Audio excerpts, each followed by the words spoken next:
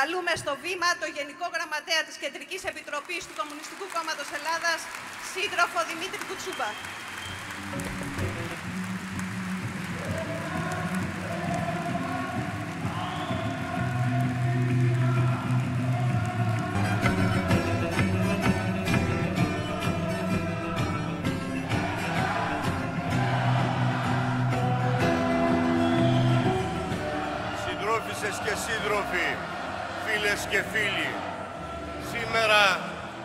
Στη Χαλκίδα, στην Εύβοια, γιορτάζουμε τα 104 χρόνια ηρωικής δράσης του τιμημένου Κομμουνιστικού Κόμματος Ελλάδας.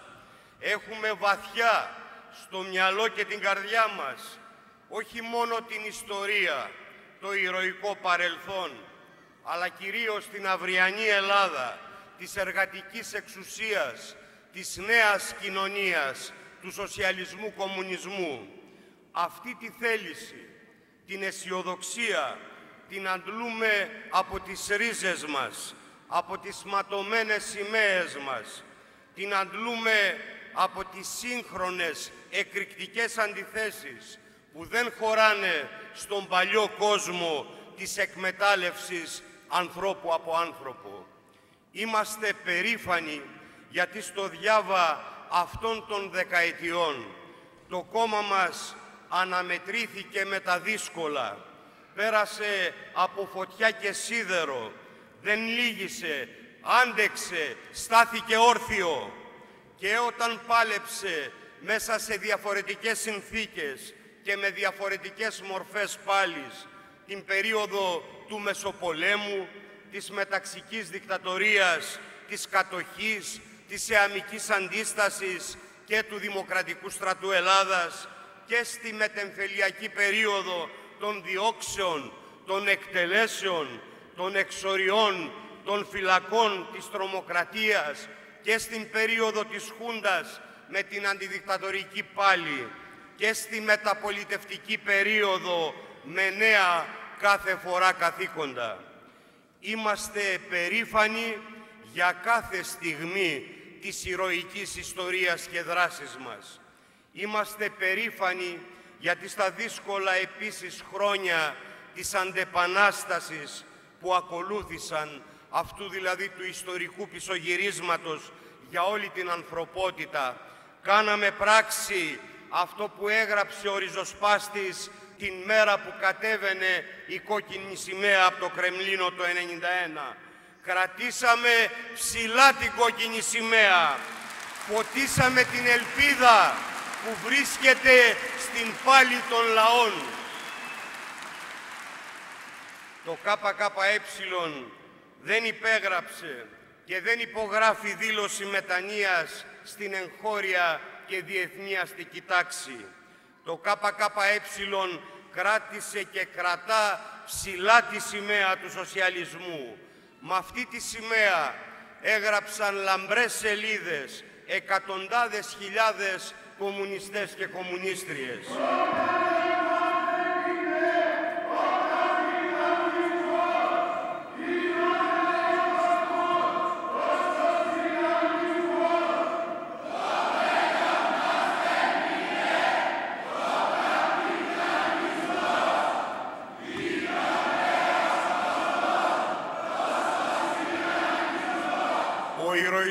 Και η θυσία τους όπως η θυσία του Θήμιου Καψί, του καπετάν Ανάποδου και των συντρόφων του, αγκαλιάζει το χθες και το σήμερα. Και στη Ρούμελη και εδώ στην Εύβοια οι καταβολές του ΚΚΕ, οι ρίζες του ΚΚΕ είναι πάρα πολύ βαθιές. Όπως παντού και εδώ η πορεία του κόμματός μας είναι ταυτισμένη με τις πιο πρωτοπόρες αγωνιστικές προσωπικότητες, με ανθρώπους της μαχητικής διανόησης, τους καλλιτέχνες του λαού. Δεν ξεχνάμε κανέναν, τους τιμούμε όλους και όλες, από τον πρωτοπόρο εργάτη Γιάννη Χάνο, τον Μίτσο Καπόλο, τον Γιώργο Βλαχούτσικο, τον γραμματέα της Επών Εύβοιας Βαγγέλη Ευαγγελόπουλο, τον Λικούργο Ζούμπερη, που έπεσαν ηρωικά για τη ζωή και τόσους άλλους, αλλά και αυτούς που εξορίστηκαν, βασανίστηκαν, φυλακίστηκαν για δεκαετίες ολόκληρες με το κεφάλι ψηλά, όπως ο Δημήτρης Σάρλης, ο Αχιλέας, ο Μίτσος Στολίδης, ο Σταμάτης Κριτικός, ο Σπύρος Καπετάνιος, ο Νίκος Μαζαράκης, ο Δήμος Γιαλαμπούκης, ο Γιάννης Ηλίας, ο Προκόπης Τζάνος, ο Λόγκος, όλους αυτούς που στις μεγάλες στιγμές του κινήματος τάχθηκαν με τη σωστή πλευρά της ιστορίας, όπως η οικογένεια Παπαστρατή, ο Νότης Καπνίσης, η Σωτηρία Μπέλου, ο Γιάννης Καρύμπας, ο Μίτσος Σέτας και τόσοι άλλοι ακόμα. Η ιστορία τους, η ιστορία μας αποτελεί πολύτιμη παρακαταθήκη για τις ερχόμενες γενιές των αγωνιστών. 104 χρόνια ΚΚΕ και συνεχίζουμε για να γίνει ο λαός μας πρωταγωνιστής των εξελίξεων. Όσο δύσκολο και αν ακούγεται, αυτό είναι που πρέπει να γίνει σήμερα για να ανοίξει επιτέλους ο ελπιδοφόρος, ο ρεαλιστικός δρόμος για το λαό μας, για την νεολαία. Από όλους εμάς εξαρτάται αν θα τα καταφέρουμε, από την ίδια μας τη στάση, τη δράση, την επιλογή. Όταν η ακρίβεια και η ενεργειακή φτώχεια εξανεμίζει το πενιχρό εργατικό λαϊκό εισόδημα που δεν σώζεται ούτε με τα καλάθια του νοικοκυριού, ούτε με κουπόνια, τότε για να πάρει ο λαός μια ανάσα πρέπει να απαιτεί αυξήσεις μισθών και συντάξεων, κατάργηση φόρων. Όταν τα κοράκια των τραπεζών αρπάζουν τα σπίτια λαϊκών οικογενειών, αφού ο πρώτα ο ΣΥΡΙΖΑ έκανε τον πληστηριασμό και η κυβέρνηση της Νέας Δημοκρατίας την έξωση, τότε ένα σύνθημα πρέπει να ακουστεί. Τα σπίτια του λαού τα σώζει μόνο ο λαός με το ΚΚΕ μπροστά.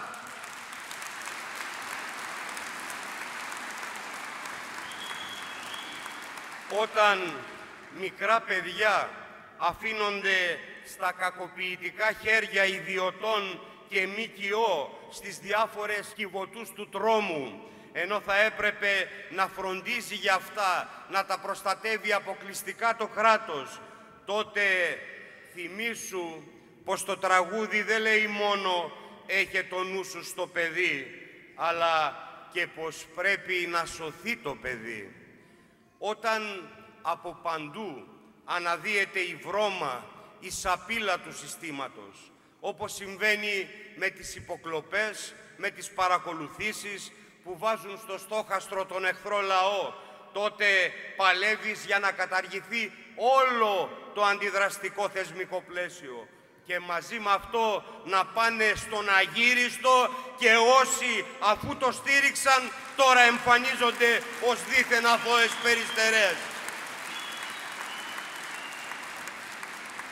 Και όταν ένας νέος ιμπεριαλιστικός πόλεμος με τη συμμετοχή της χώρας σου κινδυνεύει να βάλει φωτιά και σε άλλες χώρες, να κάψει και άλλους λαούς, τότε μπαίνεις μπροστά για την απεμπλοκή της Ελλάδας από τα σχέδια των Αμερικάνων και του ΝΑΤΟ, για να κλείσουν όλες οι βάσεις του θανάτου, για να σταματήσει η χώρα μας να είναι ορμητήριο πολέμου. Όταν λοιπόν μαζεύονται τόσα κι άλλα τόσα, τότε μια επιλογή έχει ο καθένας και η καθεμιά. Να πάρει τη θέση του στους αγώνες δίπλα στο ΚΚΕ. Και για να σώσουμε ό,τι σώζεται, αλλά και για να ξεμπερδεύουμε κυρίως τελικά οριστικά και αμετάκλητα αυτή τη φορά με το σάπιο σύστημα της εκμετάλλευσης. Για να φτιάξουμε μια καινούργια κοινωνία άλληνε, που τραγουδούσε ο Καζαντζίδης για μας και τα παιδιά μας, για τις δικές μας ανάγκες.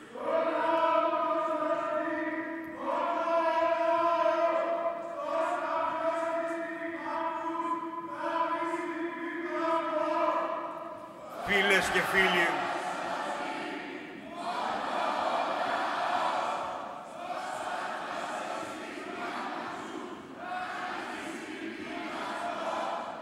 Σήμερα μπορεί τα πράγματα να είναι δύσκολα, μπορεί να μοιάζουν μερικές φορές ακίνητα, αλλά έτσι δεν θα μείνουν. Δεν θα μείνουν έτσι αν αφήσουμε στην άκρη όλοι και όλες τη λογική της αναμονής, αν σημάνει ένα νέο αγωνιστικό ξεκίνημα. Και αυτό μπορεί να γίνει μόνο με το ΚΚΕ μπροστά, πολύ πιο δυνατό, κάτι που εξαρτάται φυσικά από όλο το λαό και όχι μόνο από μας. Σήμερα χρειάζεται περισσότερο από ποτέ ένα νέο πάλι ξεκίνημα που θα ξεκινά από τη συμμετοχή μας στο Εργατικό Σωματείο, στην Επιτροπή Αγώνα, στον Αγροτικό Σύλλογο, στο Σύλλογο των Επαγγελματιών, στο μαζικό φορέα της γειτονιάς.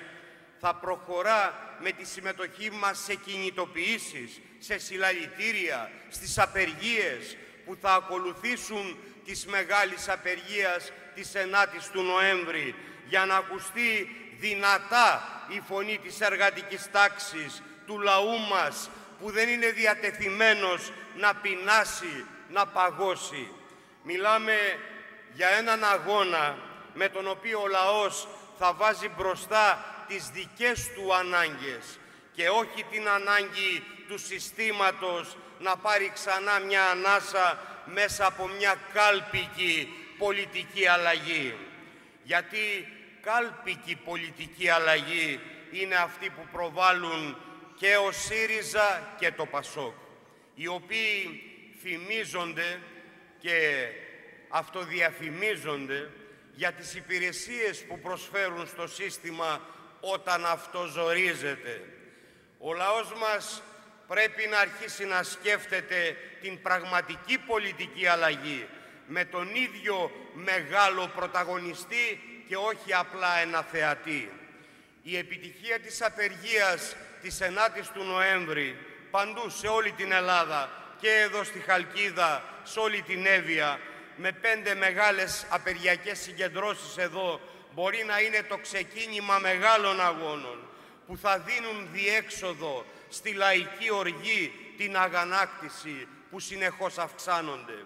Μια οργή που δεν θα εγκλωβίζεται στη λογική της αναμονής κάποιων αλλαγών από τα πάνω που παραλύει ακόμα και μάχημες αγωνιστικές δυνάμεις. Και όπως φάνηκε τέτοιες μάχημες αγωνιστικές δυνάμεις υπάρχουν σε πάρα πολλούς χώρους δουλειάς, σε πάρα πολλά εργοστάσια και εδώ στην Εύβοια, όπου εργάτες και εργάτριες στις μεγάλες βιομηχανίες τροφίμων, στα τσιμεντάδικα, στο λιμάνι, στη Λάρκο, αλλού, κόντρα στην τρομοκρατία, στο συμβιβασμό, στη μυρολατρεία, σήκωσαν το ανάστημά τους, έκαναν το βήμα και απήργησαν. Δεν είναι λίγο πράγμα να σταματάει η παραγωγή, να σβήνουν οι μηχανές, να κατεβαίνουν τα ρολά, να αδειάζουν τα γραφεία και να γεμίζουν, να πλημμυρίζουν οι δρόμοι από εργάτες, εργάτριες, υπάλληλους, ανθρώπους του μεροκάματου, νέα παιδιά, φοιτητές και μαθητές. Κι αν σήμερα στη Χαλκίδα, στην Εύβοια, οι μάχημες αγωνιστικές δυνάμεις αυξάνονται μέσα στα εργοστάσια, σε πολλούς χώρους δουλειάς. Αυτό συμβαίνει γιατί και εδώ σε αυτό το νομό μετά από πολλά χρόνια έχει συντελεστεί μια σημαντική αλλαγή που ήδη την καταλαβαίνουν οι εργάτες. Αναφέρομαι στην αλλαγή στο Εργατικό Κέντρο Εύβοιας με την ανάδειξη των ταξικών δυνάμεων σε πρώτη δύναμη για να μπει τέλος σε αυτή την απαξίωση, των εκφυλισμό. Τώρα αρχίζουν να καταλαβαίνουν οι εργαζόμενοι τι σημαίνει εργατικό κέντρο όπλο στα χέρια των εργαζομένων. Εργατικό κέντρο που πρωτοστατεί για τα προβλήματα κάθε χώρου και κλάδου δουλειάς, για τα μεγάλα προβλήματα της εργατιάς, για το μεροκάματο, την ακρίβεια, τη φτώχεια, την υγεία, την παιδεία, τον πόλεμο. Εργατικό κέντρο που βοηθάει, που στηρίζει έμπρακτα τα πρωτοβάθμια σωματεία στον αγώνα που δίνει το καθένα στο χώρο του για κάθε πρόβλημα, που καλεί γενικές συνελεύσεις, ενημερώνει, συσπυρώνει, κινητοποιεί εργαζόμενους, βοηθάει για να σπάει η εργοδοτική τρομοκρατία ή το κλίμα απογοήτευσης. Εργατικό κέντρο που αναπτύσσει με όλες του τις δυνάμεις την αλληλεγγύη σε κάθε χώρο δουλειάς που αγωνίζεται, που συμβάλλει να δημιουργούνται νέα σωματεία με σκοπό όλο και περισσότεροι εργαζόμενοι να οργανώνονται σε αυτά. Τώρα μπορούν να καταλάβουν οι εργάτες, οι εργάτριες, όλοι οι άνθρωποι του Μόχθου, ότι για χρόνια αρνητικοί συσχετισμοί που υπάρχουν μπορούν να αλλάξουν και αλλάζουν όταν δυναμώνει η συμπόρευση με το ΚΚΕ γιατί μόνο το κουκουέ μπαίνει μπροστά με συνέπεια σε όλες τις μάχες. Και τέτοιες σημαντικές μάχες προηγήθηκαν της αλλαγής των συσχετισμών και στο εργατικό κέντρο.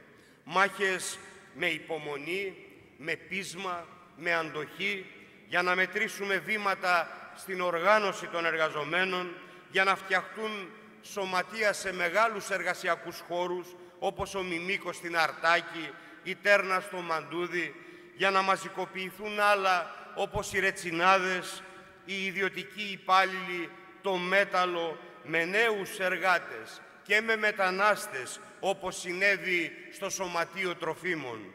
Καθημερινές μάχες μέσα στους χώρους δουλειάς, όπου οι εργαζόμενοι καταλαβαίνουν πως βελτίωση στη ζωή τους δεν πρόκειται να δουν όσο θα βελτιώνονται μόνο τα κέρδη των λίγων, των επιχειρηματικών ομίλων που είναι παντού στην περιοχή, αλλά όσο βελτιώνεται η δική τους οργάνωση, ο δικός τους αγώνας, όσο βελτιώνεται και ανεβαίνει η δύναμη του ΚΚΕ.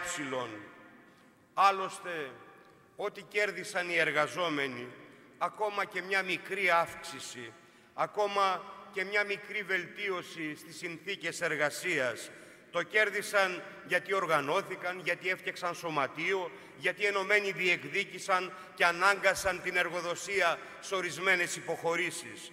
Και αν τώρα αυτή αντεπιτίθεται, παίρνει τα μέτρα της, βάζει στο στόχαστρο τα σωματεία, οι εργάτες πρέπει να πάρουν τα δικά τους μέτρα, να προστατέψουν την οργάνωσή τους, το σωματείο τους, να ενισχύσουν τις ταξικές δυνάμεις.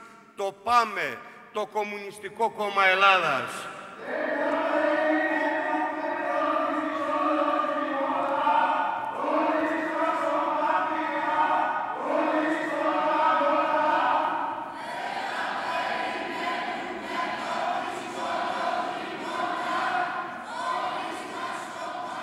Αγωνιστικός αέρας βέβαια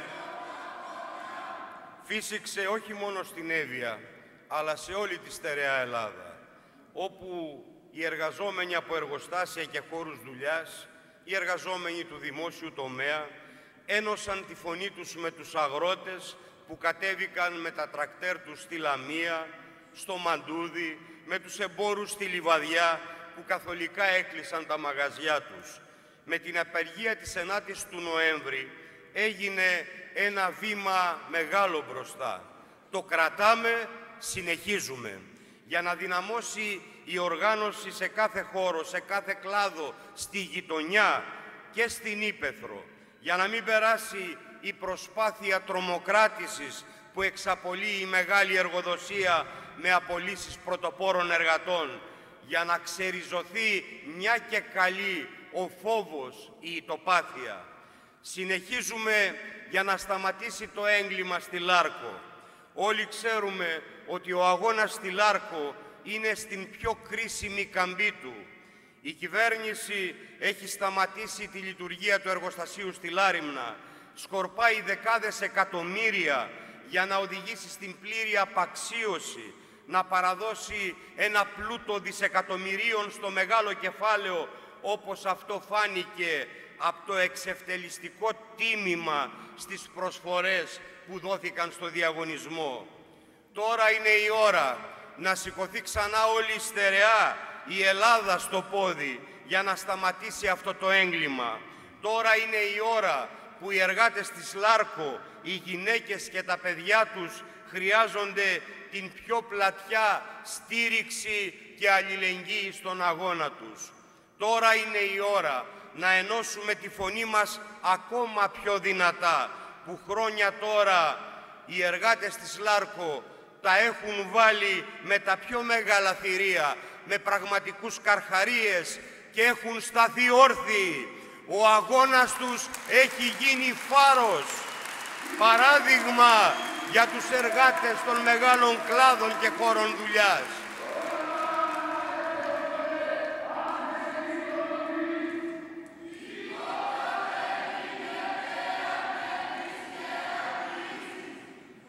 Από το δικό τους μεγαλειώδη αγώνα παίρνουν κουράγιο κι άλλοι εργάτες για να τα βάλουν με τη μεγάλη εργοδοσία, να μην λυγίσουν, να αντέξουν.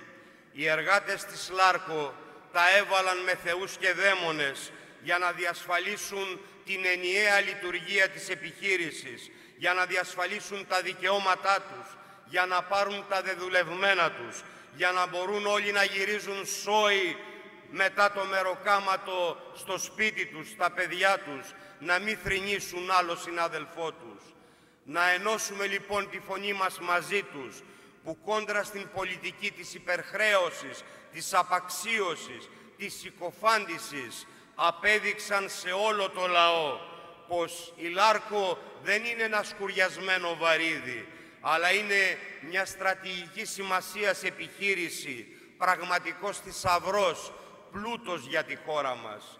Μόνο να σκεφτεί κανείς πως η Λάρκο είναι η μοναδική επιχείρηση σε όλη την Ευρωπαϊκή Ένωση που παράγει σιδηρονικέλιο μέσα από την επεξεργασία δικών της εγχώριων μεταλλευμάτων. Και η χώρα μας είναι η μοναδική στην Ευρωπαϊκή Ένωση που έχει στο υπέδαφος της νικελιούχα μεταλλεύματα με κοβάλτιο, γεγονός που τα κάνει δισεύρετα για όλο τον κόσμο. Γι' αυτό οι εργαζόμενοι της ΛΑΡΚΟ, αλλά και εμείς, μιλάμε τόσα χρόνια για ένα έγκλημα που έχει τη σφραγίδα όχι μόνο της Νέας Δημοκρατίας η οποία ανέλαβε ως κυβέρνηση να το ολοκληρώσει, αλλά έχει και τη σφραγίδα όλων των κυβερνήσεων που έβαλαν πλάτη στην απαξίωση, στην υπερχρέωσή της. Μιλάμε για έγκλημα, γιατί η Λάρκο από μόνη της αναδεικνύει τις παραγωγικές δυνατότητες που έχει η Ελλάδα, οι οποίες θα μπορούσαν να αξιοποιηθούν προς όφελος όχι βέβαια του κεφαλαίου, αλλά της εργατικής τάξης του ελληνικού λαού. Και τέτοια ολοκληρωμένη, επεξεργασμένη πρόταση έχει μόνο το ΚΚΕ. Γι' αυτό και στεκόμαστε με συνέπεια στο πλευρό των εργαζομένων της ΛΑΡΚΟ.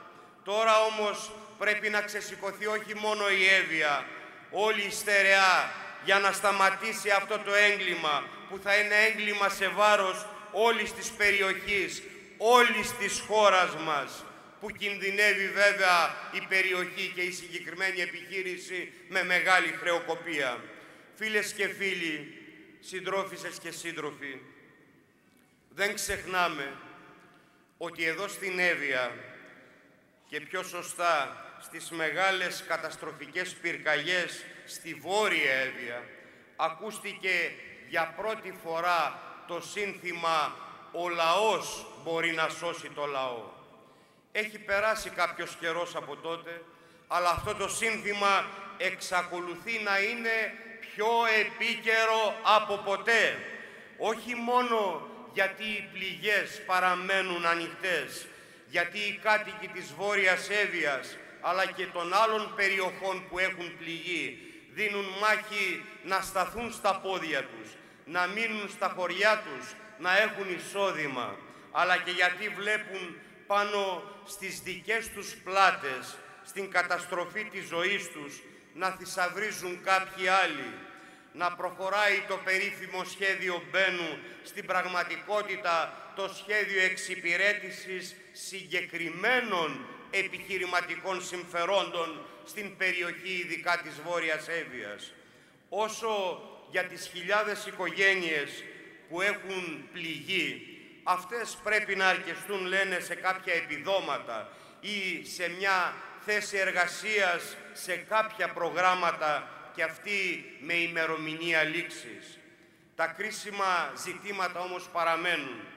Πού είναι το ολοκληρωμένο σχέδιο αποκατάστασης και δημιουργίας νέων υποδομών; Πού είναι το ολοκληρωμένο σχέδιο πολιτικής προστασίας από πλημμύρες, από πυρκαγιές; Πού είναι όλα αυτά που με ευθύνη του κράτους έπρεπε να έχουν γίνει για να μην δούμε νέες καταστροφές, για να μην θρηνήσουμε άλλες ανθρώπινες ζωές. Ή μήπως νομίζουν, επειδή στην περιοχή έχουν αρχίσει να δραστηριοποιούνται διάφορες μη κυβερνητικές οργανώσεις ονομαζόμενες, γνωστά ευαγή ιδρύματα άλλα, ότι οι εργαζόμενοι εύκολα θα παρετηθούν από την απέτηση το κράτος και η κυβέρνηση να αναλάβουν τις ευθύνες τους. Ευθύνη της κυβέρνησης και του κράτους είναι να αποκατασταθούν οι ζημιές, να καταβληθούν εδώ και τώρα οι αποζημιώσεις σε όσους έχουν πληγεί όπως στο Λιλάντιο, στη Μεσαπία, αλλά και δίπλα στη Φθιώτιδα. Είναι ντροπή δύο χρόνια μετά τις πλημμύρες στο Λιλάντιο πεδίο να μην έχει πάρθει κανένα μέτρο προστασίας. Ακόμα και η γέφυρα των φύλων παραμένει γκρεμισμένη με αποτέλεσμα το χωριό να είναι αποκομμένο εδώ και δύο χρόνια. Είναι ντροπή να έχουν δοθεί μόνο ένα μέρος από τις αποζημιώσεις και αυτές με καθυστέρηση ή να έχουν αποκλειστεί και αγρότες από αυτές όπως συμβαίνει με αγρότες στη Φθιώτιδα ή με ρετσινάδες στη Βόρεια Εύβοια. Είναι ντροπή να βάζουν κόφτες στις αποζημιώσεις και να εξαιρούν σημαντικό κομμάτι των κατοίκων όπως συνέβη με τα δύο τρίτα των ετούντων για το έκτακτο επίδομα της οικοσκευής οι οποίοι αποκλείστηκαν ή όπως συνέβη με το 45% των πληγέντων επαγγελματιών που δεν πήραν ούτε ένα ευρώ για την καταστροφή που υπέστησαν.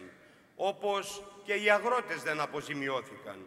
Υπάρχουν ακόμα χωράφια μπαζωμένα από φερτά υλικά που είναι αδύνατο να καλλιεργηθούν. Μάλιστα στέλνουν από τη ΔΕΗ ειδοποίηση διακοπής στο αγροτικό ρεύμα.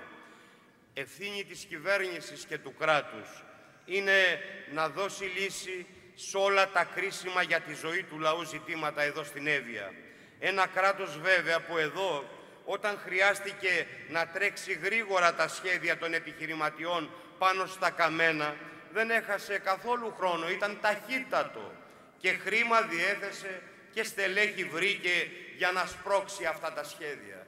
Όταν όμως πρέπει να αποζημιωθούν οι κάτοικοι, να στηριχτούν, να ορθοποδήσουν, τότε το κράτος είναι δυσκίνητο, είναι πιο αργό και στις περισσότερες περιπτώσεις παντελώς απόν. Αν κάτι έγινε, αν κάτι πήραν ή θα πάρουν οι πληγέντες, είναι γιατί το ΚΚΕ έδωσε όλες του τις δυνάμεις γι' αυτό. Πίεσε προς κάθε κατεύθυνση τα Υπουργεία, την κυβέρνηση παντού. Αν πριν δύο χρόνια η στήριξη αυτή από το κράτος ήταν κρίσιμη σημασίας για να μπορέσουν να σταθούν οι εργαζόμενοι, οι αγρότες, οι επαγγελματίες. Σήμερα που η ακρίβεια στην ενέργεια, στα είδη πλατιάς λαϊκής κατανάλωσης έχει εκτοξευθεί, είναι ζήτημα πλέον στοιχειώδους επιβίωσης. Βέβαια, και εδώ στην Εύβοια, στη Στερεά, οι εργαζόμενοι μπορούν τώρα καλύτερα να καταλάβουν αυτό που εδώ και χρόνια λέει το ΚΚΕ, πως η απελευθέρωση, για παράδειγμα, της ενέργειας, όπως όριζε η Ευρωπαϊκή Ένωση και υλοποιούσαν σταδιακά η μια μετά την άλλη οι κυβερνήσεις στη χώρα μας, πως η πράσινη μετάβαση που όλες οι άλλες πολιτικές δυνάμεις την έκαναν εικόνισμα με την απολιγνητοποίηση και τα διάφορα χρηματιστήρια της ενέργειας, είναι όλα αυτά που έχουν οδηγήσει ώστε η ενέργεια για το λαό να είναι πλέον ένα πανάκριβο απλησίαστο εμπόρευμα.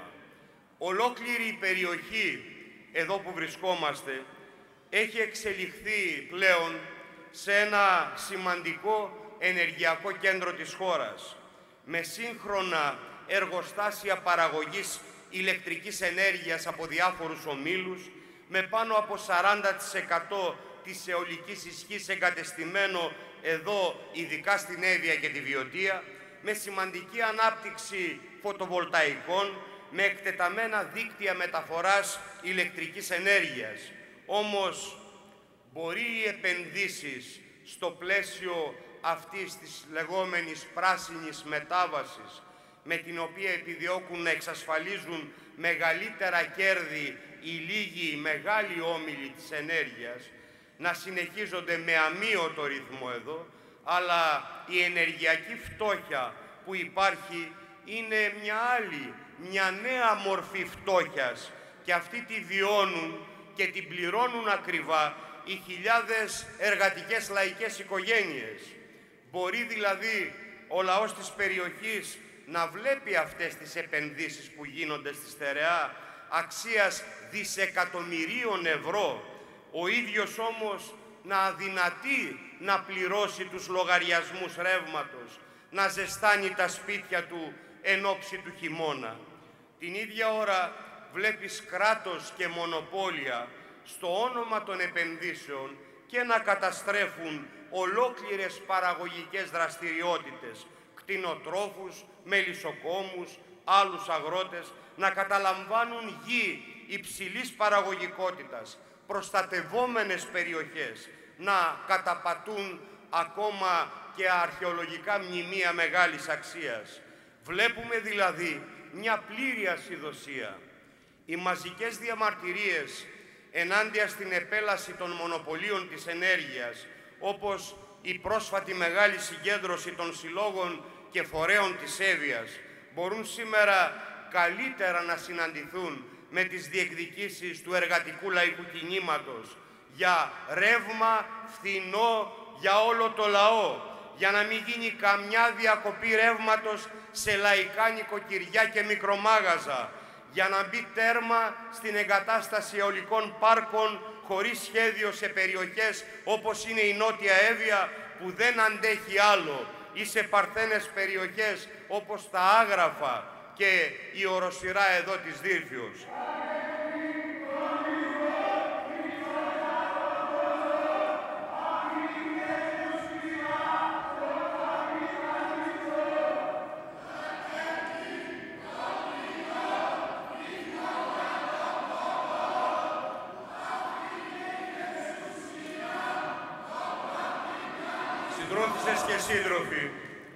Τις επόμενες μέρες η κυβέρνηση της Νέας Δημοκρατίας ετοιμάζεται να ψηφίσει το νομοσχέδιο Λεμιτόμο για τη δημόσια νοσοκομιακή περίθαλψη του λαού, ο οποίος θα πρέπει να βάλει ακόμα πλέον πιο βαθιά το χέρι στη τσέπη για να πληρώσει από το λαιλατημένο εισόδημά του για την υγεία του.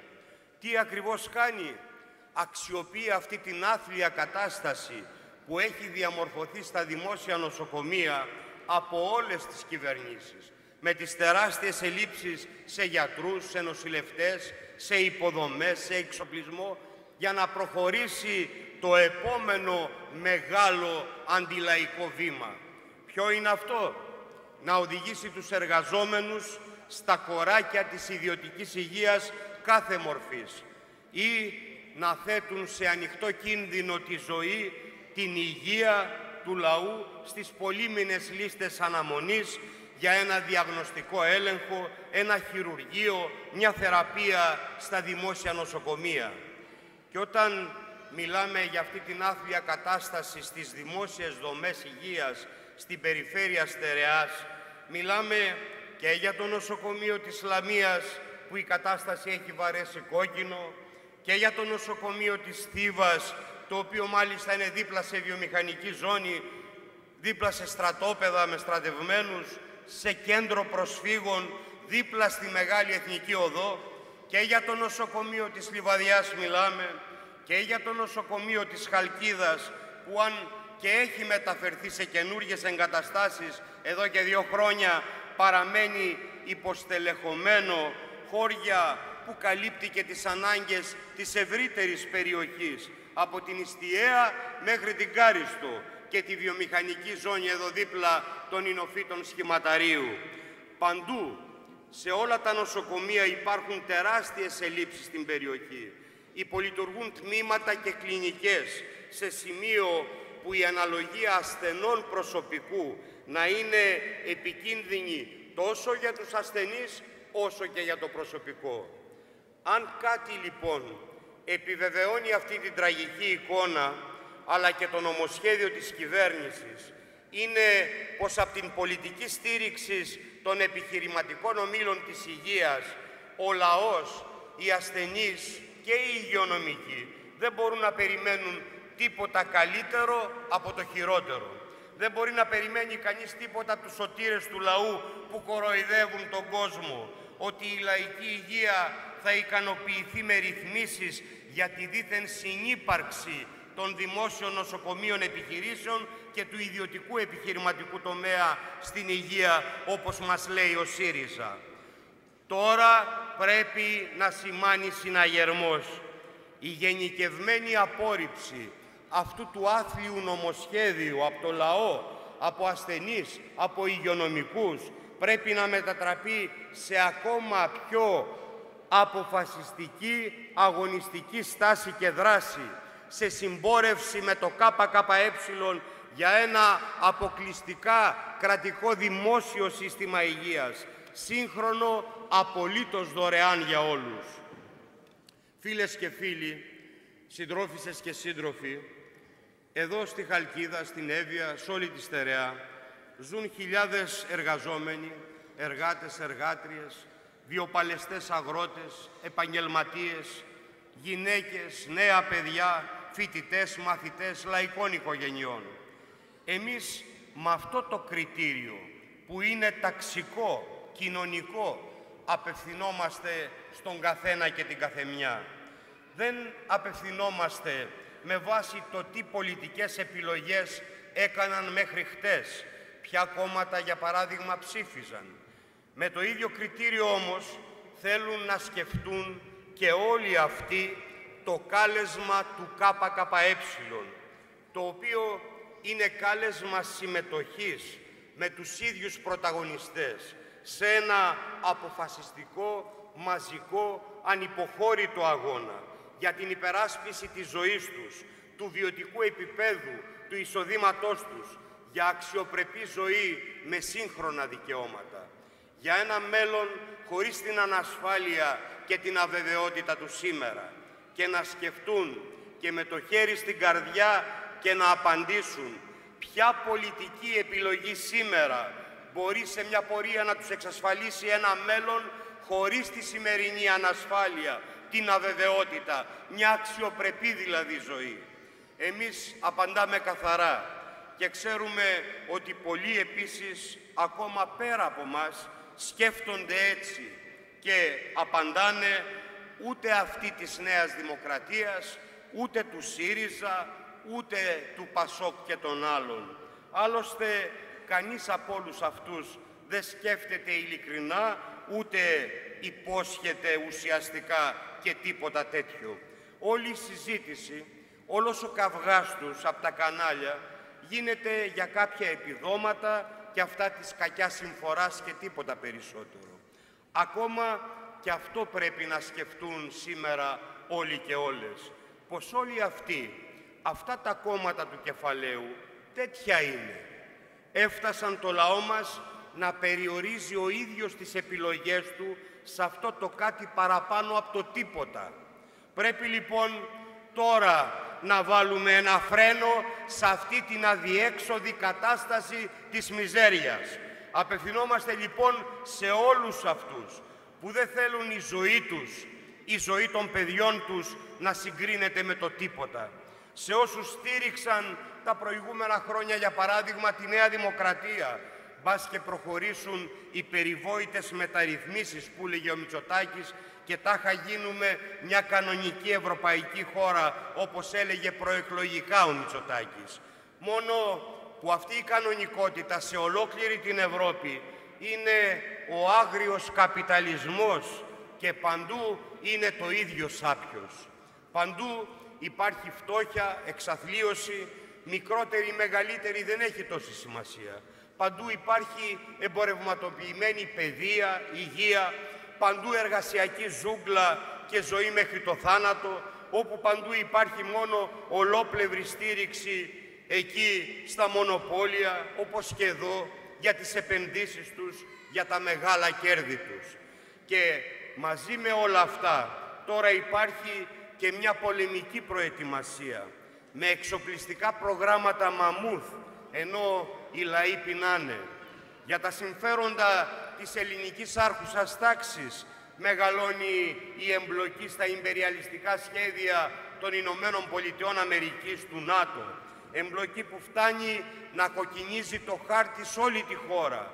Γιατί πραγματικά όλες οι υποδομές από τη Σούδα μέχρι την Αλεξανδρούπολη, από τη Λάρισα μέχρι τον Άραξο αναβαθμίζονται και διατίθενται για τις ανάγκες των υπεριαλιστών.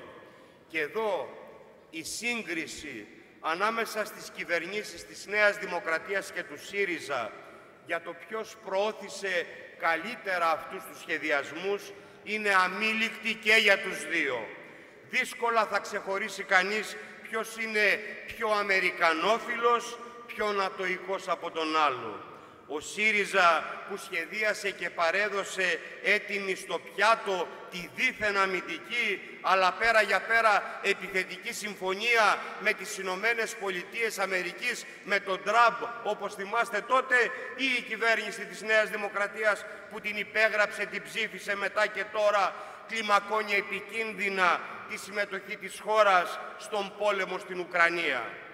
Οι ευθύνες τους είναι ακόμα μεγαλύτερες γιατί στην πραγματικότητα πρόκειται για προσπάθεια αναβάθμισης των συμφερόντων της ελληνικής αστικής τάξης, η οποία εκδηλώνει την επιθετικότητά της στο πλευρό των ΗΠΑ, του ΝΑΤΟ, της Ευρωπαϊκής Ένωσης, ανταγωνιζόμενη την τουρκική αστική τάξη. Ορισμένοι καλά θα κάνουν να μην εφησυχάζουν τον ελληνικό λαό, πως δήθεν τώρα η Τουρκία έχει άλλα μέτωπα ανοιχτά και δεν θα επιχειρήσει καμιά επιθετική ενέργεια σε βάρος της Ελλάδας. Ο λαός μας πρέπει να είναι σε ετοιμότητα, γιατί ακόμα και οι συμβιβασμοί με τις διαπραγματεύσεις στο παρασκήνιο που ετοιμάζονται συνήθως έρχονται μετά και από μια επιθετική ενέργεια, από ένα θερμό επεισόδιο ή ακόμα και από μια πολεμική εμπλοκή με θύματα τους λαούς.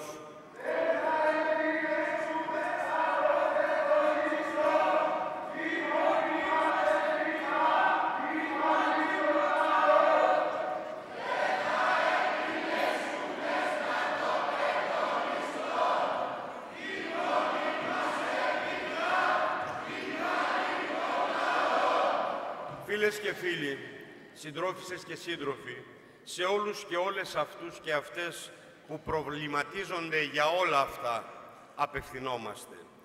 Ας μην διστάσουν λοιπόν να συμπορευτούν με το ΚΚΕ ακόμα και αν δεν συμφωνούν σε όλα μαζί μας. Εκτιμούν όμως την συνέπεια, την αγωνιστικότητα, τη μαχητικότητα των κομμουνιστών.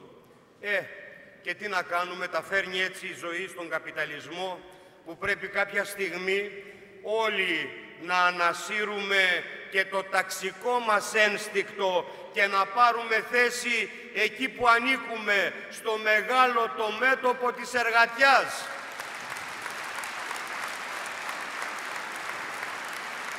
Απευθυνόμαστε σε όσους στήριξαν και εξακολουθούν ιδιαίτερα να στηρίζουν το ΣΥΡΙΖΑ και περιμένουν ίσως κάτι περισσότερο από αυτή τη δίθεν προοδευτική διακυβέρνηση που συνεχώς μας τσαμπουνάει. Να σκεφτούν όλα τα αντιλαϊκά μέτρα της Νέας Δημοκρατίας που στήριξε και ψήφισε η δίθεν προοδευτική αντιπολίτευση του ΣΥΡΙΖΑ και πόσα συγχαρητήρια αλλά και άλλα εισέπραξε για τη στάση του. Να σκεφτούν ότι πρόοδος δεν είναι να ρίχνουν τις απαιτήσεις του λαού στο πάτωμα, να βαφτίζουν δημοκρατικές προοδευτικές δυνάμεις στο ΝΑΤΟ, τις Ηνωμένες Πολιτείες Αμερικής, ούτε τις απαιτήσεις του μεγάλου κεφαλαίου ως τέτοιες.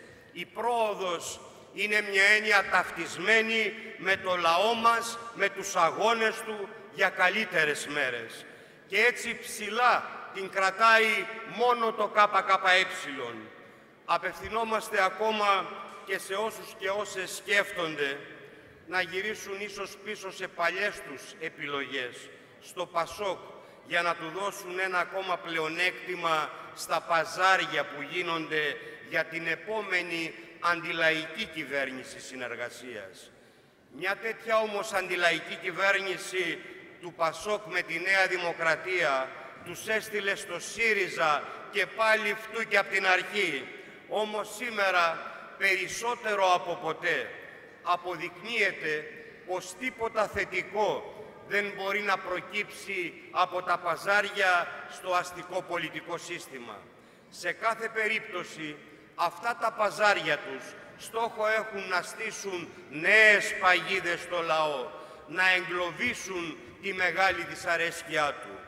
Ό,τι θετικό προκύψει για το λαό, αυτό θα προκύψει κυρίως από τα κάτω, από τη λαϊκή δράση και κινητοποίηση με την ταυτόχρονη μεγάλη ενίσχυση του ΚΚΕ. Αυτό,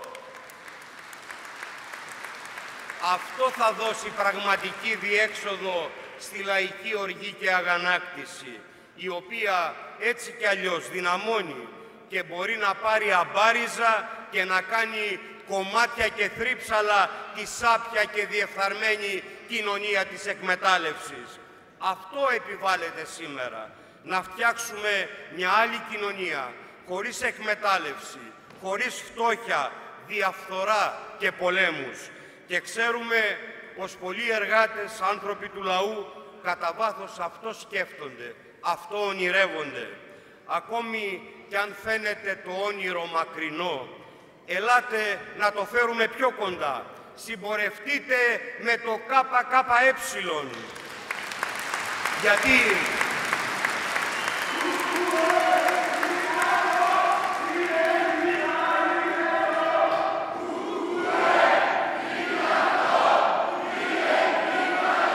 γιατί μπορούμε να ζήσουμε σε κοινωνία που αυτοί που παράγουν τον πλούτο να μπορούν και να τον καρπώνονται.